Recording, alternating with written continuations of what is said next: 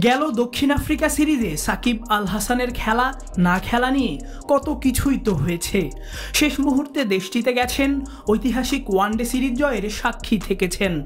টেস্টেও খেলার কথা ছিল, কিন্তু পরিবারের অধিকাংশ সদস্য অসুস্থ থাকায় সাদা পোশাকের সিরিজ না খেলেই দেশে ফিরেছিলেন। এর মধ্যেই একবার গুঞ্জন উঠেছিল প্রোটিয়াদের বিপক্ষে। দ্বিতীয় টেস্টে খেলতে হয়তো আবারও দেশটির উদ্দেশ্যে উড়াল দেবেন। কিন্তু তিনি দক্ষিণ আফ্রিকায় নয় মেয়ে আলাইনাকে নিয়ে পাড়ি জমিয়েছেন যুক্তরাষ্ট্রে। বাবা মেয়ে দুজনই এখন অবস্থান করছেন সেখানেই। দুই ম্যাচের টেস্ট সিরিজ খেলতে আগামী মাসের শুরুর দিকেই বাংলাদেশ সফরে আসবে শ্রীলঙ্কা ক্রিকেট দল। মেয়েকে নিয়ে যুক্তরাষ্ট্রে অবস্থান করায় এই সিরিজে দেশসেরা অলরাউন্ডার খেলবেন কিনা তা নিয়ে জনমনে প্রশ্নের উদয় ঘটেছে।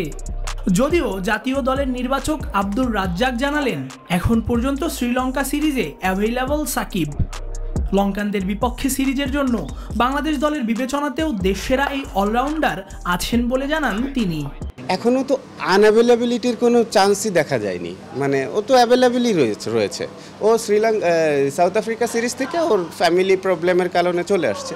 তো চলে আসার পর এখনও তো মানে শ্রীলঙ্কা সিরিজের জন্য যে ও খেলবে না বা খেল মানে এরকম তো কোনো কথা ওঠেইনি। তো এটা নিয়ে তো ইয়ে করার কথাও না। ঠিক আছে, ও এখনও টিমের মধ্যেই আছে। আমরা তো ডেফিনেটলি বিবেচনা করব। আমাদের দেখেন সাকিবের মতো প্লেয়ারকে বিবেচনা না করার কোনো কারণ আছে নাকি? মানে আমি তো মনে করি না। দেশের সর্বনিম্ন ক্যাশ আউট চার্জ শুধুমাত্র নগদে। দেশি নগদে বেশি লাভ। চলমান ঢাকা প্রিমিয়ার লিগ ডিপিএলে দারুণ পারফর্ম করে চলেছেন দীর্ঘদিন জাতীয় দলের বাইরে থাকা এনামুল হক বিজয় নাইম ইসলাম মোসাদ্দেক হোসেন, নাসির হোসেনরা। তরুণদের মধ্যে অমিত হাসান, শাহাদাত হোসেন দীপুরাও পারফরমেন্সের দিক দিয়ে পিছিয়ে নেই। বোলিংয়ের ক্ষেত্রে রাকিবুল হাসান, মৃত্যুঞ্জয় চৌধুরী, কাজী অনিকরাও দিয়েছেন সামর্থ্যের প্রমাণ। শ্রীলঙ্কার বিপক্ষে সিরিজ, এরপর ওয়েস্ট ইন্ডিজ সফরের দলে তাদের মূল্যায়ন করার বিষয়ে সুখবর দিয়েছেন রাজ্জাক।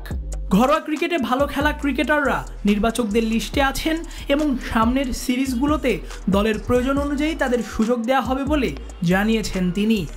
যারা যারা এই প্রিমিয়ার লিগ বলেন বিপিএল বলেন, যারা ভালো করে সবাই অলরেডি লিস্টেড যে তারা অলরেডি একটা লিস্টের মধ্যে চলে এসছে যে তাদের যে যেখানে যেখানে যে টাইপের প্রয়োজন হবে ওখান থেকে প্লেয়ার আমরা নিতে পারব। এটা আমাদের জন্য ভেরি গুড নিউজ যে মানে লাস্ট করোনার কারণে কিন্তু আমরা এই লিস্টটাই করতে পারছিলাম না। আমরা কিন্তু বেশ স্ট্রাগল করেছি। আমাদের টিম কিন্তু বেশ ঝামেলার মধ্যে দিয়ে গেছে যে কোনো প্লেয়ারের যদি দেখা গেছে খারাপ করছে অথবা কেউ ইনজুর্ড হয়েছে, তার একটা তাকে একটা রিপ্লেস করার জন্য ইনাফ প্লেয়ার আমরা পাচ্ছিলাম না। বাট এই যে খেলা শুরু হয়েছে অলরেডি এখন আর আশা করি ইনশাল্লাহ সমস্যা হবে না। আমাদের ওই অন্তত একটা, প্রত্যেকটা টুর্নামেন্টে একটা করে লিস্ট তৈরি হয়, তো ওর মধ্যে থেকে প্ল্যান নেওয়া যাবে। সব কিছু ঠিক থাকলে আগামী আটই মে বাংলাদেশ সফরে আসবে শ্রীলঙ্কা দল। এগারো মে দুই দিনের প্রস্তুতি ম্যাচ খেলার পর আগামী পনেরো মে থেকে চট্টগ্রামে শুরু হবে প্রথম টেস্ট।